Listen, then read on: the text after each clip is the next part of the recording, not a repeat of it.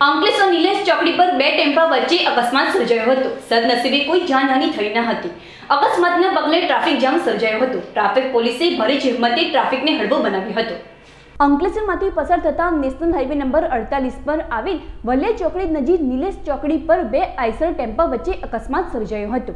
ભરૂચ તરફ જતા ટ્રેક પર સર્જાયેલા અકસ્માતને લઈ વાહન વ્યવહાર અવરોધાયો હતો.